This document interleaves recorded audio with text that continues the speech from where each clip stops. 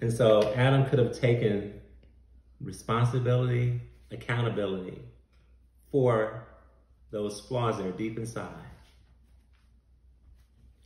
And they did. Uh, they, they both had to suffer. They both had to, you know, really work and labor. And, you know, Eve had to go through labor and Adam had to get out there and, and work outside the garden, everything where everything was, was plush and basically replenishing for itself. Now he had to go out here and toil the soil. And so, but we all have to remember that it all works according to God's plan. So God knew what Adam had done. He knew what Eve had done. And he still, it was all according to his plan because that was all a part of what was going to be our testing ground. It's part of what was going to be our testing ground. This is our testing ground. If everything is already heavenly, then how does God know that he can trust you? And so it was the same for Adam, the same for Eve, and it's the same for us.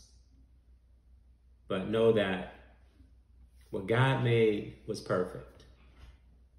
What man made and what comes out of man is what's flawed.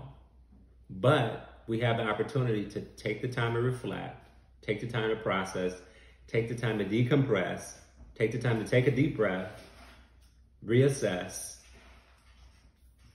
and understand what our flaws are, are. But it starts with us as individuals. And if we're able to do that, once we're able to do that, then we can go out and we can help others. So let's pray out. Can you real quick just repeat that that um, the thing about what you said about Eve uh, being tempted in the garden and responsibility? I said that you know according to this, according to the author Moses, we have to understand that according to Moses, Eve was the one that was tempted. And a lot of times, you know, men try to fault women and say, you know, it's your fault. If it wasn't for women, men wouldn't be in this predicament. But we have to understand that according to the scripture, Adam was created first and Eve was taken from Adam. So, bone of my bone, flesh of my flesh. And so if Eve was flawed or did have flaws, her flaws came from Adam. So in no way should Eve be the villain uh, for the predicament that our society is in because really it's all a part of God's plan.